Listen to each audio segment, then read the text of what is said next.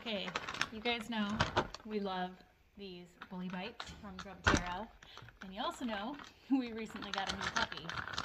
So now I'm going to try the salmon snacks because I want to try another flavor. Hi, Odin. And I'm going to use these, and I've been using these to practice teaching him how to sit. Sit.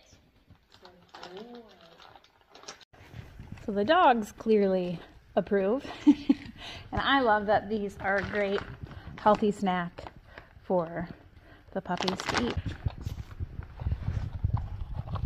So yummy. There's the big boy. You want to try a snack? Can you sit? Max, sit. Good boy.